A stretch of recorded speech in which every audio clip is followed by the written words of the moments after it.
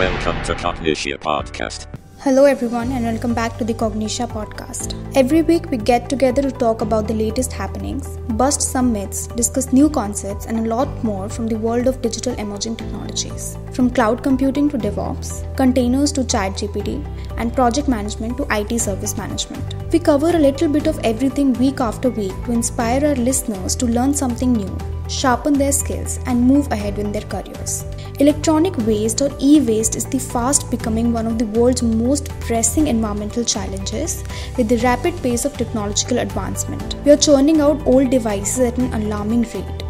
From smartphones to computers, televisions to toasters, almost everything with a plug or battery eventually becomes e waste. This mountain of discarded electronics is growing at a staggering pace. The scale of the problem is mind boggling. In 2022 alone, a staggering 62 million metric tons of e waste were generated globally. To put that into perspective, it's like throwing away thousands of laptops every second. This massive amount of waste is not only a waste of valuable resources but also a ticking time bomb. This massive amount of waste is not only a waste of valuable resources but also a ticking time bomb for the environment. Toxic chemicals and hazardous materials found in electronic devices can leach into the soil and water, posing serious health risks to humans and wildlife. So, what can be done? Well, researchers at MIT, the University of Utah, and Meta have cooked up a new flexible material that could be a game changer for electronics. Not only can it be recycled at the end of a device's life cycle, but also follows for building way more complex, multi layered circuits that we can currently do. It's like upgrading your phone's motherboard to a supercharged version.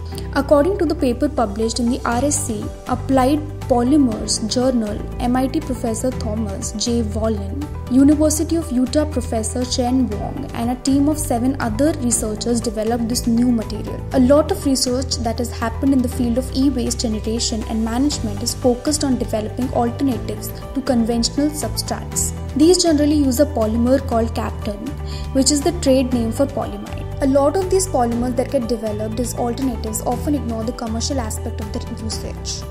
The key question to ask is why would one switch to these alternatives instead of Kapton? Kapton, after all, has excellent thermal and insulating properties and is readily available. Such is the demand for electronics in Kapton that the polyimide business globally is pegged to touch $4 billion by 2030. Every electronic device on the planet has polyimide in it.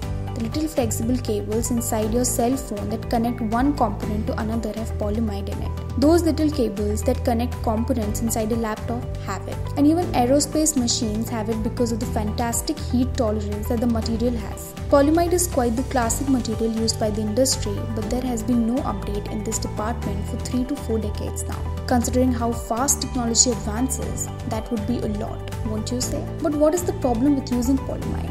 Well, it is impossible to melt or dissolve.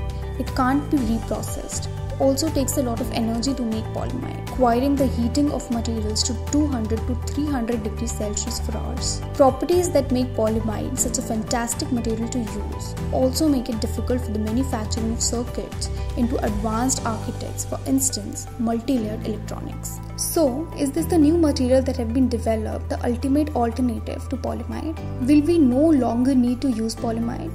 Let's make polyimide extinct. Well, it's not that simple. It generally isn't is it? The new material is a form of polyimide itself. It is easily compatible with the existing manufacturing setups, so switching shouldn't be all that hard. The new material is a light cured polymer. Do you know that strong, durable material that dentists use to make fillings for your teeth that usually cures in just seconds when exposed to ultraviolet light? This new material is something like that. What's more, it can be hardened quickly and at room temperature. Now, how cool is that? The new material, the paper says, could serve as a substrate for multi layered circuits, which would in turn enable a lot of components to be added into a small form factor.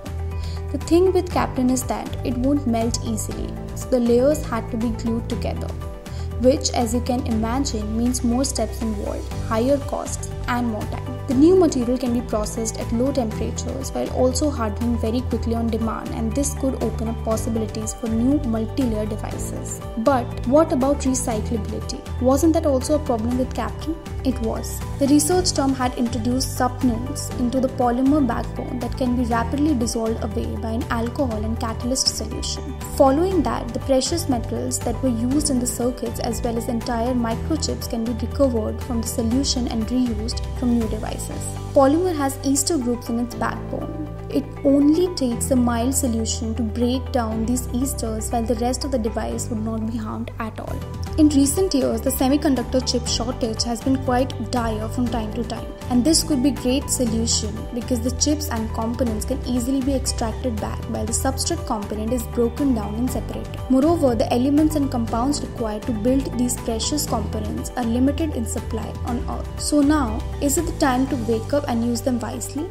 This tech would be commercialized and we hope it would be able to help our planet as well as help technology advanced more wide, also making it more accessible and maybe even cheaper. But the development sure is very interesting. If successful, it could quite be a game changer for the electronics and wearables industry. With that, we come to the end of this week's episode of the Cognixia podcast. We'll be back again next week with another interesting and exciting episode. Till then, be curious to know more about the world around you. Happy learning.